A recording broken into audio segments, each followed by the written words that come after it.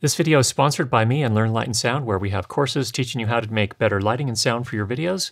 Link down below. Also, thank you to Saramonic in full disclosure for sending me for free the TC Neo timecode generators. We'll talk about these a little bit more in a few minutes. Let's jump in. This video is really for people who are new to the use of timecode for syncing audio and video that were recorded separately.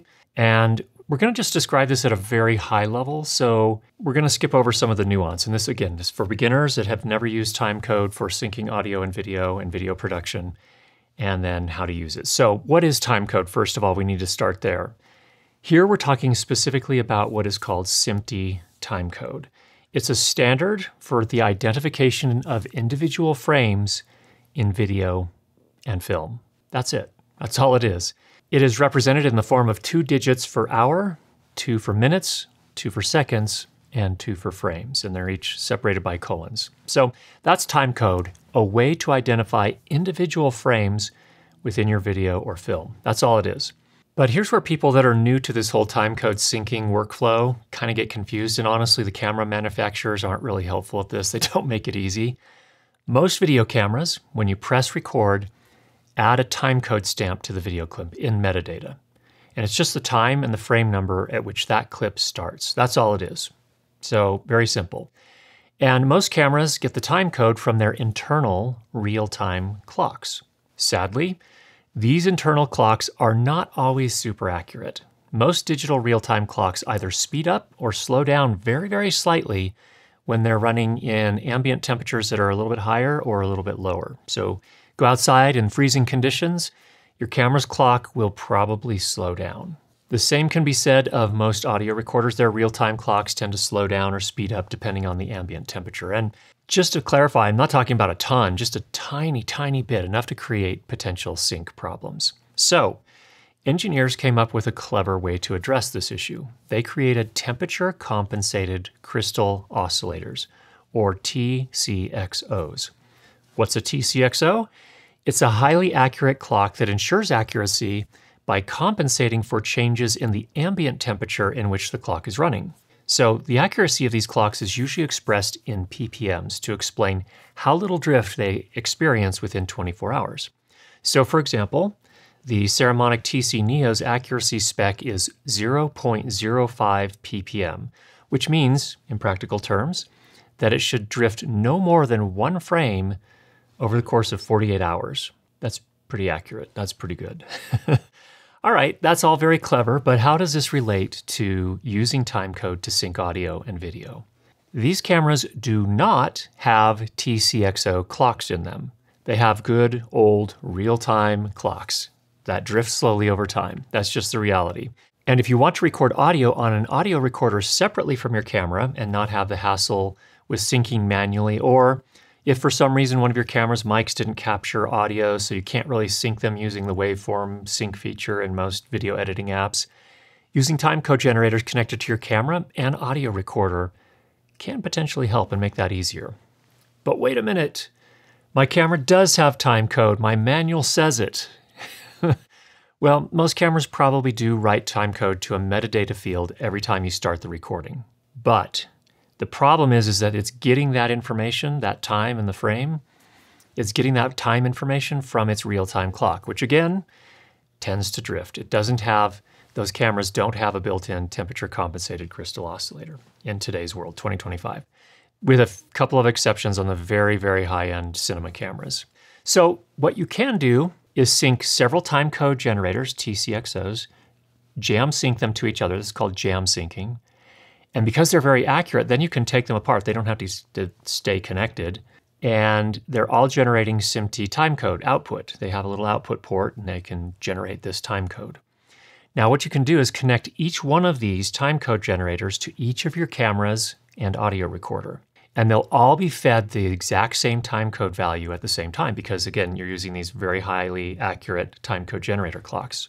Now, some cameras and audio recorders have timecode input and output ports. So what you can do is you can connect the timecode generator to the input port and you leave it connected for the entire duration of the entire filming session.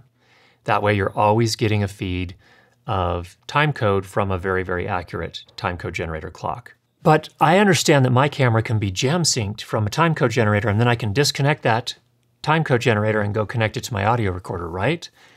Yes, you can do that. However, keep in mind that as soon as you disconnect the timecode generator from your camera, your camera is then relying again on its real time clock to keep the timecode going forward, and those real time clocks tend to drift over time. So your sync may not be perfect in post production if you do that. Can you do it? Sure. Will it get you in the ballpark? Generally, yes. Will be perfectly sy- synced up with your audio clips? Probably not. It'll probably be off by several frames. So, once all your devices have timecode feeding into them from external timecode generators and you keep those connected throughout the entire filming session, every time you start a recording on your camera or your audio recorder, that file will get stamped with the current timecode from the timecode generator. That's beautiful. Then in post production, all you do is you tell your editing app to sync the audio and video clips via timecode, and they automatically line up perfectly in sync. It's a beautiful thing. Yay. but what if your camera doesn't have a timecode input, or your audio recorder doesn't have a timecode input? Well, there is a workaround that requires a bit more work, and let me explain that. And this is where I think a lot of people get kind of confused. You can instead connect the timecode generators to an audio input on your camera or on your audio recorder. When you play back those clips from your camera or audio recorder once you're done recording, that track where the timecode was recorded will sound like this. Well, what's the use of that, you might ask? To get that audio timecode converted to a metadata timestamp in the video clip and the audio clips, you have to run those clips through a special app in post production first. And this will take the audio timecode and convert it into a timestamp in a metadata field on that clip. So you have to do that first. Now, there are a variety of apps out there. Tentacle Sync Studio does it, Deity has a timecode app. Those are ones that I would recommend. Then, after you've run those clips through that timecode app, you can bring all of your clips into your video editing app of choice, tell it to sync via timecode, and just like before, poof, magic, they're all synced up. So that's the high level idea. Most common questions I get number one, as we mentioned before, can I disconnect the timecode generator from my camera after I jam synced it? And the answer is short answer no, don't do that. If you want perfect sync, keep the timecode generator connected to the camera through the entire filming session. Long answer well, yes, you can disconnect it, but then this workflow probably won't work perfectly. You won't get perfect sync. Your camera will continue counting timecode and frames, but it'll be using its own internal real time clock and it will drift over time. How much does it drift? Well, let's talk about that in the next question. The next question is I did this all. I did exactly what you said, Curtis, but my audio ends up out of sync by the end of the video clip. Why? Timecode only marks the start time of your recordings. That's it. And cameras and audio recorder real time clocks will still drift over time. So, even though they may be perfectly synced at the start of the clip, if your recording was, say, an hour long, there's a good chance that the audio may be four or even more frames than that out of sync by the end of the hour long recording. So be aware that timecode doesn't prevent drift over time, it just gets you synced up at the start. That's what it's good at. So if you're going to be doing a lot of long form video, a lot of filming for longer than 20 minutes at a time, you may be better off feeding audio from your audio recorder directly into your camera so that you don't have those drift issues. Okay, that was a lot. We'll stop for now. I hope that was helpful. Again, just a high level overview of how this works. If you have any questions, let me know down below. In the meantime, get out there and make some great sound.